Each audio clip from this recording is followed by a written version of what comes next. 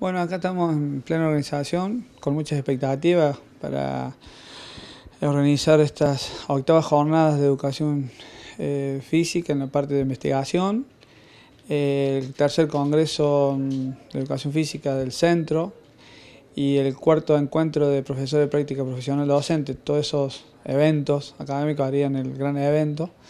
Y la verdad que bueno, como te decía recién, estamos en semana de recibir todos los que son ponencias y talleres, porque precisamente va a tener particularidad que el Congreso se va a hacer más de la práctica metodológica mediante talleres y las jornadas van a tener un carácter más de ponencia, así que este, como te decía recién, hemos hecho eh, muy buena difusión, eh, hemos tenido eco a través de las redes, esperemos eh, que la gente asista. Eh, este, hemos considerado la cuestión del costo para que sea lo más accesible posible. Este, tenemos costo mínimo que cubrir, no lo podemos hacer de manera gratuita lamentablemente, así que bueno, esperemos que contar con gente que asista al, evento. ¿no?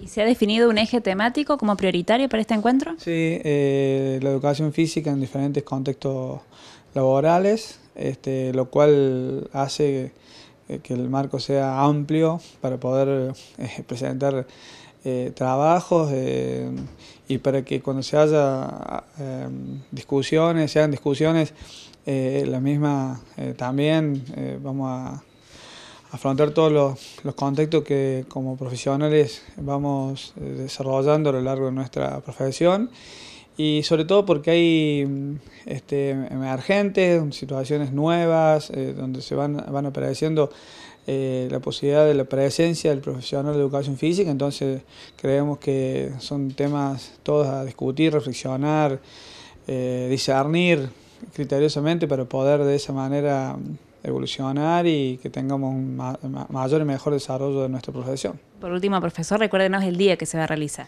El evento se va a desarrollar los días 6 y 7 de abril, todo en el campus eh, de nuestra universidad.